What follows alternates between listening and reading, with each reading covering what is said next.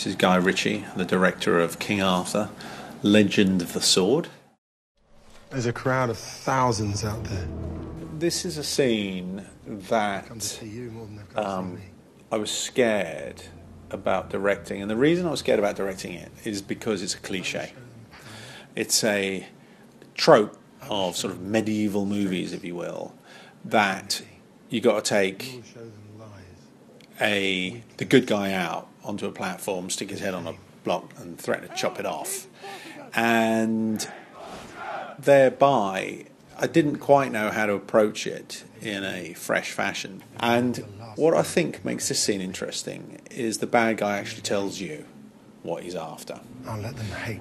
And I quite like that because really we're after the same thing that the bad guy's after, um, which is a sense of recognition.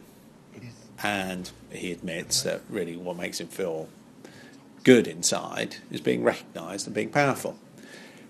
So, on, in the morning of me shooting this, I wrote this sequence um, with Jude Law explaining why he, he doesn't want anyone contaminating his direct route to the source of his sense of self.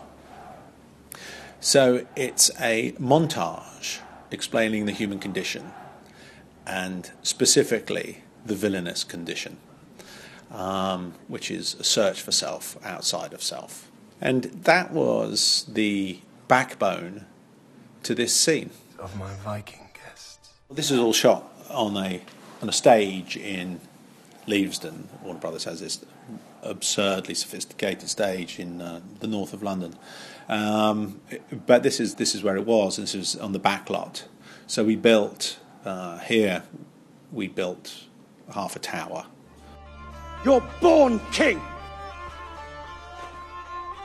Behold the man who pulled sword from stone. It was certainly one of its key components was to express the fact that this was a big film. So it was a time to wheel out the extras and go, bosh, we are playing big.